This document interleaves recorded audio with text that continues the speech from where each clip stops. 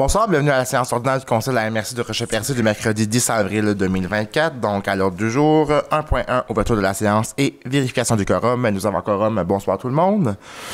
1.2, lecture adoption de l'ordre du jour. 1.3, adoption du procès verbal de la séance ordinaire du 13 mars 2024. 1.4, dépôt et approbation de la liste des chèques et des prélèvements pour la période du 14 mars au 5 avril 2024. 1.5, dépôt et approbation de la liste des comptes à payer au 5 avril 2024. 1.6, dépôt du rapport 2023 concernant l'application du règlement numéro 332-2021 sur la gestion contractuelle. 1.7, élection 2021, dépôt du rapport d'activité de, la trésorière pour la période du 1er janvier 2023 au 5 avril 2024. 1.8, approbation de la nouvelle structure salariale du personnel de la MRC. 2.1, avis de conformité pour le règlement numéro 627-2024, modifié le règlement de zonage numéro 436-2011 de la ville de Percé. 2.2, avis de conformité pour, le règlement de concordance numéro 628-2024, modifiant le règlement de zonage numéro 436-2011 de la ville de Percé. 2.3, avis de conformité pour le, règlement numéro UGA 022, modifiant le règlement de zonage numéro U006-03-19 de la ville de Grande-Rivière. 2.4, avis de conformité pour le règlement de concordance numéro 2017-Z007, modifiant le règlement de zonage numéro 2017-Z001 et le plan d'urbanisme numéro 2017 Urba 001 de la ville de Chandler. 2.5, avis de conformité pour le règlement Omnibus numéro 2017-Z006, modifiant certaines dispositions du règlement de zonage numéro 2017-Z001 et du règlement sur les permis et certificats sur l'administration des règlements d'urbanisme numéro 2017 Admin Urba 001 de la ville de Chandler. 2.6, avis de conformité pour le, règlement numéro 2024-01, modifiant le règlement de zonage numéro 2017-06 de la municipalité de Port-Gascon. 4.1, coordination du programme d'aide au logement additionnel, octroi de contrat. 4.2, fonds éolien, euh, contribution au programme d'aide au logement additionnel. 4.3, programme d'aide au, logement additionnel, appel à projet. 4.4, Fonds et régions ruralité, volet 4, soutien à la vitalisation, adoption des recommandations du comité de vitalisation. 4.5, modification au cadre de vitalisation, Fonds, régions et ruralité, volet 4, soutien à la vitalisation et à la coopération intermunicipale. 4.6, acceptation de l'offre de crédit variable à l'investissement de la FTQ, autorisation de signature de la convention. 4.7, service de garde en milieu familial, acceptation de projet. 4.8, FRR, volet 4, entente de vitalisation, prolongation de délai. 4.9, FRR, volet 4, soutien à la vitalisation, dépôt et adoption du rapport annuel d'activité au 31 mars 2024. 4.10, autorisation de paiement des travaux réalisés dans le cadre du programme d'aménagement durable des forêts saison 2023-2024. 4.11, FRR, volet 3, projet signature, innovation, prolongation de délai. 6.1 aéroport, contrat avec Pêche et Océan Canada, autorisation de signature. 6.2 aéroport, nettoyage des réservoirs de carburant, octroi de contrat. 7.1 programme petits, petits établissements accessibles SHQ, autorisation de signature. 8.1 une correspondance de Mme André Laforêt, ministre des Affaires municipales et de, l'Habitation. Pour le FRR, volet 3, projet de signature, innovation, ajustement apporté. 8.2, même chose de Mme Laforêt, ministre pour euh, le FRR, volet 4.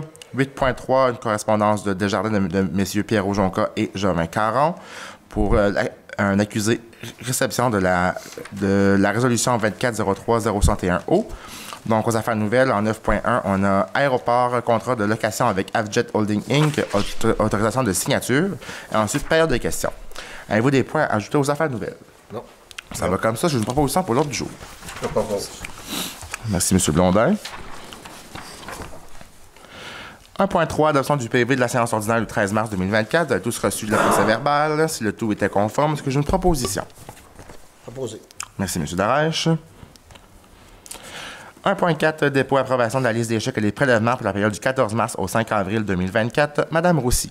Oui, la liste des chèques pour le compte 11 153 portant les numéros 18 606 à 18 663 au montant de 643 907 et 10 et la liste des prélèvements portant les numéros 3 697 à 3 711 au montant de 45 614 et 3, le tout pour un grand total de 689 521 et 13. Je propose. Merci, M. Grenier. 1.5, dépôt approbation des listes des comptes à payer au 5 avril 2024. Madame Roussy. Oui, donc au montant de 116 916 et 80. Je propose. Merci, M. Blondin. 1.6, dépôt du rapport 2023 concernant l'application du règlement numéro 332-2021 sur le contractuel. Madame Roussy. Oui, c'est tout simplement une obligation de déposer annuellement le rapport concernant l'application du règlement numéro 332-2021 sur la gestion contractuelle. Le tout sera aussi disponible sur le site web de la MRC. Merci, Madame Roussy. 1.7, élection 2021, dépôt du rapport d'activité de la trésorière pour la période du 1er janvier 2023 au 5 avril 2024. Madame Roussy. Oui, c'est la même chose. C'est un dépôt de rapport d'activité. Le tout sera aussi disponible sur le site web de la MRC. Merci, Madame Roussy. 1.8, approbation de la nouvelle structure salariale du personnel de la MRC. Donc, on que la MRC Rocher-Percé a mandaté la Fédération québécoise des municipalités pour procéder à la révision de la structure salariale. On sent que la FQM a déposé la nouvelle structure sa- salariale et que cet exercice totalise un, un montant de 36 398 pour l'année 2024. Considérant les disponibilités au niveau des postes budgétaires de salaire, on aura une proposition que le Conseil de la MRC de Rocher-Percé approuve la nouvelle structure salariale du personnel de la MRC à partir du 1er janvier 2024, et ce, tel que déposé par la Fédération québécoise des municipalités. Merci, Mme Poirier. 2.1, avis de conformité pour le règlement numéro 627-2024, modifié le règlement de zonage numéro 436-2011 de la Ville de Percé. Mme Roussy. Considérant que la Ville de Percé a adopté à la séance ordinaire du Conseil municipal le 2 avril 2024 le règlement numéro 627-2024 modifiant le règlement de zonage numéro 436-2011, considérant que le règlement numéro 627-2024 ne contrevient à aucun objectif du schéma d'aménagement et de développement révisé ni aux dispositions du document complémentaire, il serait proposé et appuyé que le Conseil déclare par la présente, conforme à son schéma d'aménagement et de développement révisé, le règlement numéro 627-2024 de la Ville de Percé. Je propose. Merci, M. Cyr. 2.2, avis de conformité pour le règlement de concordance numéro 628-2024, modifiant le règlement de zonage numéro 436-2011 de la Ville de Percé. Madame Roussy.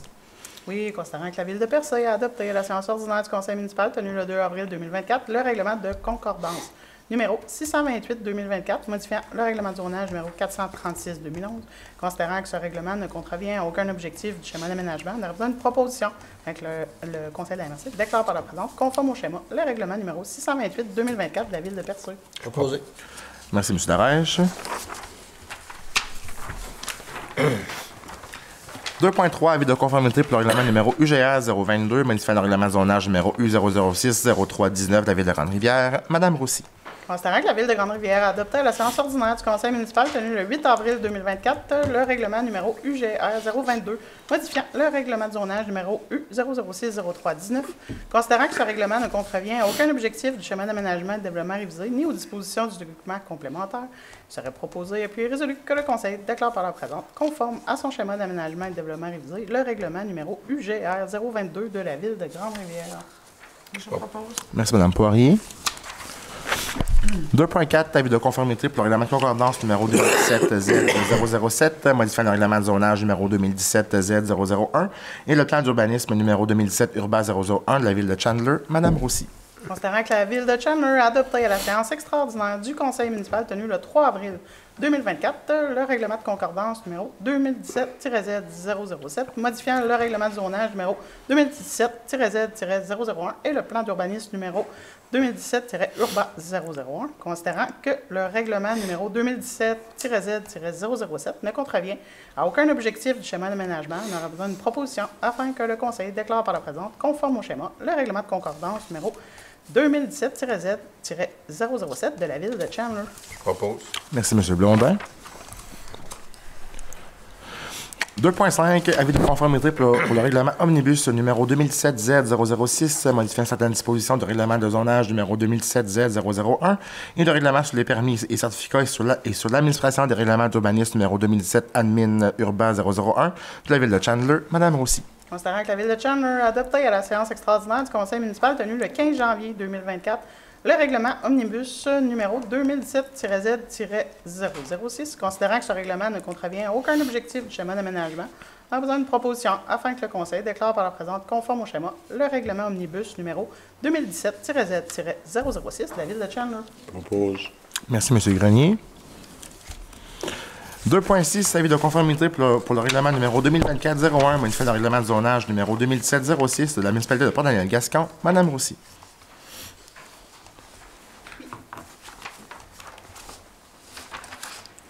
Donc, euh, considérant que la municipalité de Port-Daniel-Gascon a adopté à la séance ordinaire du conseil municipal tenue le 8 avril 2024 euh, le règlement numéro 2024-01 modifiant le règlement de zonage numéro 2017-06, considérant que le règlement numéro 2024-01 ne contrevient à aucun objectif du schéma d'aménagement, en faisant une proposition afin que le conseil déclare par la présente, conforme au schéma d'aménagement, le règlement numéro 2024-01 de la municipalité de Port-Daniel-Gascon. Je propose. Merci, M. Blondin.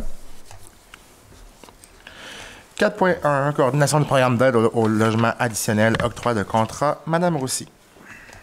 Oui, considérant que la MRC souhaite mettre en place un programme d'aide au logement additionnel, on a besoin d'une proposition afin que le Conseil octroie un contrat à CL Design pour la coordination du programme d'aide au logement additionnel à un tarif de 1 400 par projet en ajoutant le temps et les frais de déplacement. Merci, Mme Poirier. 4.2, fonds éolien, contribution au programme d'aide au euh, logement additionnel. Donc, considérant la pénurie de logements sur le territoire de la MRC Rocher-Percé, considérant que la MRC désire mettre en place un programme d'aide financière visant à inciter l'aménagement de nouveaux logements additionnels, considérant le, considérant le fonds éolien instauré à la MRC, on aurait besoin d'une proposition afin, que le Conseil affecte un montant de 250 000 du fonds éolien pour le programme d'aide financière visant l'ajout de logements additionnels. Merci, M. Darèche. 4.3, programme d'aide au logement additionnel, appel à projet. Donc, considérant les besoins en logement présents sur le territoire de la MRC, considérant que la MRC souhaite inciter les propriétaires à aménager des, des nouveaux logements, on aurait besoin d'une proposition que le conseil de la MRC de Rocher-Percé mette en place un programme d'aide au logement additionnel. Je propose. Merci, M. Grenier. Donc, pour ceux et celles que ça, que ça intéresse, le programme va être disponible sur le site web de la MRC. Sinon, les grandes lignes, c'est un programme qui s'adresse à monsieur, madame, tout le monde, qui, qui est propriétaire de leur maison, qui désire ajouter un logement additionnel à celle-ci. Donc, il y a des, un financière qui va être disponible ici. Donc, on va pouvoir vous accompagner avec un, un, financière qui peut aller jusqu'à 50 du projet pour un maximum de 10 000 Donc, euh, tout, euh, tout ce qui est en lien avec, euh, le, le avec le programme va être euh, tout, tout décrit euh, dans euh, l'appel à projet qui va être euh, disponible dès demain matin sur notre site web. Disponible à partir de minuit? Demain matin. Donc, euh, si, ah, puis si jamais il y a des questions, Madame aussi, la personne responsable à la MRC, Suzanne Bacon. Madame Suzanne Bacon, donc elle va être là pour répondre à l'ensemble de vos questions également. Donc, euh, 4.4 FRR volet 4, soutien à la vitalisation. Donc, euh, adoption des recommandations du comité de vitalisation. Donc, euh, six projets ce soir. Le premier, les pêcheries Dracar Inc., donc un projet d'acquisition d'un permis une subvention de 25 000 pour un coût de projet de 1 650 000 Le deuxième, les pêcheries Samuel Lepage Incorporé, projet acquisition d'un permis d'eau une subvention de 25 000 pour un coût de projet de 3,5 3,550 millions. Euh, promoteur, euh, le troisième, 9507 5008 Québec Inc., le, pro- le projet de- d'acquisition d'un permis é- é- également. Donc, une subvention de 25 000 pour un coût de projet de 2 225 000 Le quatrième, le garage B et G mécanique enregistré. Donc, acquisition du garage Laurier, Laurier Gionnet enregistré. Subvention de 25 000 pour un coût de projet de 220 000 Le cinquième, meuble à sel incorporé, l'agrandissement du magasin. Donc, euh, subvention de 25 000 pour un coût de projet de 500 000 Et le dernier, le colban passeur de Grande-Rivière pour l'embellissement de la cour d'école. Subvention de 20 000 pour un coût de projet de 92 000 Donc, ce soir, les subventions totalisent 145 000 pour des coûts de projet de 8 237 000 Est-ce que j'ai une proposition? Merci, Mme Poirier. 4.5, modification au cadre de vitalisation, Fonds région et ruralité, volet 4, soutien à la vitalisation et à la coopération intermunicipale. Considérant que la, que MRC a lancé un appel à projet visant la création de nouveaux logements locatifs sur l'ensemble du territoire le 13 mars, le 13 mars dernier. Considérant que le ministère des Affaires municipales et de l'Habitation a accordé à la MRC des délais supplémentaires pour mettre en, en œuvre l'entente de vitalisation le 21 mars dernier. On aurait besoin d'une proposition pour le Conseil de la MRC Rocher-Percé adopte le document modifié cadre de vitalisation 2020-2025 en modifiant les délais apparaissant à l'annexe 3, appel à projet programme d'aide au logement locatif. Je propose. Merci, M. Cyr. 4.6, acceptation de l'offre de crédit variable à l'investissement de la FTQ, autorisation de signature de la convention. Madame Roussy. Considérant la lettre d'offre et la convention de crédit variable à l'investissement, le Fonds locaux de solidarité FTQ, société en commandite, transmise à l'intention de la MRC du Rocher-Percé, en donne une proposition afin que le Conseil accepte l'offre de crédit variable à l'investissement selon les termes, conditions et restrictions énoncées à la lettre d'offre et autorise le préfet, M. Samuel Parisé, et ou la directrice générale, aussi, à signer tous les documents nécessaires. Propose. Merci, M. Blondin. 4.7, service de garde en milieu familial, acceptation de projets. Donc, deux projets ce soir. Le premier, Mme Janie Bourgette, pour le projet de renouvellement de matériel. Subvention de 1000 pour un coût de projet de 1362 Et le deuxième, Mme Francine Degary, pour le projet de renouvellement de matériel également. Donc, subvention de 1000 un coût de projet de 1410 Donc, ce soir, subvention totalise 2000 coût de projet de 2772 Proposé. Merci, M. Darèche. 4.8 FR, volet 4, entente de vitalisation, prolongation de délai. Donc, on sent que le ministère des Affaires municipales et de l'Habitation a accordé à la MRC des délais supplémentaires pour mettre en œuvre l'entente de vitalisation le 21 mars dernier. Donc, on a une proposition faire le Conseil avise le ministère des Affaires municipales et de l'Habitation qu'elle souhaite bénéficier des nouveaux délais qui lui ont été accordés. Propose. Merci, M. Grenier. FR, volet 4, soutien à la vitalisation, dépôt et adoption du rapport annuel d'activité au 31 mars 2024. Madame Roussy. Considérant que l'article 4.16 de l'entente de vitalisation du Fonds Région et Ruralité Volet 4 stipule que la MRC va adopter un rapport d'activité annuel et le transmettre à la ministre, considérant que le rapport d'activité au 31 mars 2024 relativement au Fonds Région et Ruralité Volet 4 a été présenté au membre du Conseil en séance de travail le 9 avril 2024, serait proposé et puis résolu que le Conseil adopte par la présente le rapport d'activité au 31 mars 2024. Je propose. Merci, Mme Poirier.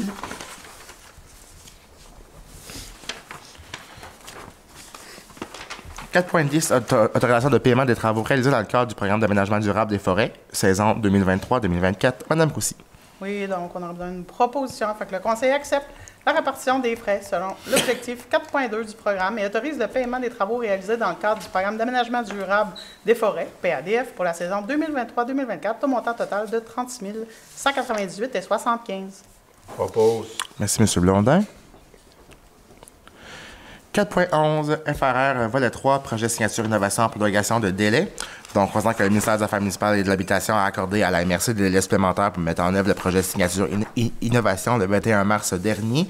On aurait besoin, d'une proposition faire le conseil de la, de MRC avise le ministère des Affaires municipales et de l'Habitation qu'elle souhaite bénéficier des nouveaux délais accordés. Merci, M. Cyr. 6.1 Aéroport, contrat avec Pêche et Océan Canada, autorisation de signature. Madame Roussy. Considérant que la MRC du Rocher-Percé est propriétaire de l'ensemble des installations aéroportuaires, considérant que Pêche et Océan Canada est engagé dans la surveillance et la protection des mammifères marins, considérant la volonté de Pêche et Océan Canada d'utiliser les installations d'aéroport du Rocher-Percé pour la saison 2024, serait proposé et puis résolu que le Conseil de la MRC autorise la Direction générale à signer le dit contrat de service de location et d'utilisation avec Pêche et Océan Canada relativement aux installations aéroportuaires de la MRC pour la saison 2024. Je propose. Merci, M. Grenier. 6.2 Aéroport, nettoyage des réservoirs de carburant, octroi de contrat. Madame Roussy. Oui, on a besoin d'une proposition afin que le Conseil octroie un contrat à Aviation Full Service pour le nettoyage des deux réservoirs à l'aéroport, et ce, pour un montant de 17 000 taxes en su. Je propose. Merci, M. Grenier. 7.1 Programme Petit Établissement Accessible de la SHQ, autorisation de signature, de considérant que le programme Petit Établissement Accessible de la Société d'habitation du Québec vise à rendre disponible une aide financière à certains propriétaires et les locataires d'établissements d'établissements commerciaux, d'affaires et de réunions afin d'améliorer l'accessibilité des personnes handicapées ou à mobilité réduite à leur établissement. Considérant que la livraison du programme Petit établissement accessible nécessite la signature d'une entente avec la SHQ, on aurait, on aurait besoin d'une proposition afin que le conseil de la, MRC m'autorise et autorise également Mme Christine Roussy à signer pour au nom de la MRC la dite entente avec la SHQ. Je propose. Merci, M. Blondin. On n'aurait pas sauté par-dessus le 6.3. Il apparaissait pas l'autre jour, fait qu'on Ok. l'a ajouté On dans nouvelle. nouvelle. D'accord. Mais le contenu est là. Et le même. OK, c'est bien. 8.1 Correspondance du ministère des Affaires municipales et de l'Habitation de Mme André Laforêt, ministre. Donc, elle nous informe via cette correspondance de la prolongation pour le FRR volet 3 jusqu'au mois de juin 2026. Au point 8.2, euh, une correspondance également du MAMACH de Mme André Laforêt, la- qui est ministre, nous informe de la prolongation du FRR volet 4 jusqu'en décembre 2026. 8.3, une correspondance de Desjardins de Pierre- Pierrot Jonca et M. Jovin 40 du 26 mars 2024, un accusé réception de, notre résolution adoptée ici à la dernière séance. Donc, elle va comme suit. La présente a pour but d'accuser réception de la résolution 240361O. Cette communication sera déposée au conseil, d'administration de la Caisse pour information. La Caisse accorde une grande importance au fait que la MRC Rocher-Percé prenne le temps d'exprimer ses préoccupations à l'égard des services qu'elle offre à ses membres. À cet effet, nous travaillons étroitement avec les différents acteurs de la, communauté dont vous faites partie pour accompagner nos membres dans ces changements. Nous tenons à vous assurer que nous demeurons soucieux de, de, collaborer avec les municipalités de, notre territoire en regard des spécificités et des enjeux locaux de chacune d'elles, sur des projets porteurs et au bénéfice du plus grand nombre. Nos décisions sont prises en regard des, resp- des responsabilités qui incombent aux administrateurs élus de la Caisse et à la suite de réflexions approfondies, d'analyses sérieuses et rigoureuses de plusieurs rapports probants. Les éléments tels que les nouvelles habitudes transactionnelles des membres et la, réduction de l'achalandage à nos comptoirs caissiers et guichets automatiques ont été considérés. Nous avons également présenté à nos membres concernés de façon per- personnalisée toutes les mesures d'accompagnement qui leur permettront de réduire les, impacts de, ces changements dans l'utilisation qu'ils font de nos services. Nous, vous remercions de nous, de nous avoir signifié votre opinion. Au nom du conseil d'administration, nous vous prions d'agréer nos meilleures salutations.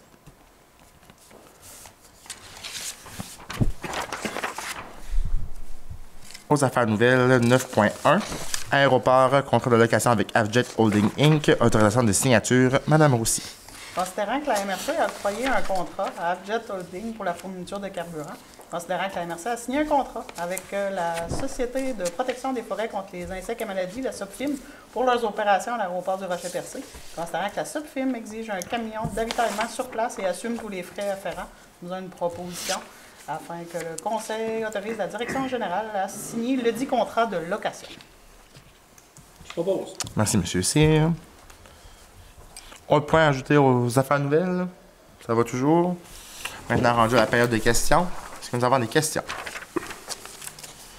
Pas de questions. Nous sommes maintenant rendus à la levée de la séance. J'ai une proposition. Je propose. Merci, Monsieur Blondin. Donc, merci à tous. Je vous souhaite une belle soirée. On se donne rendez-vous le mois prochain. Merci. Merci.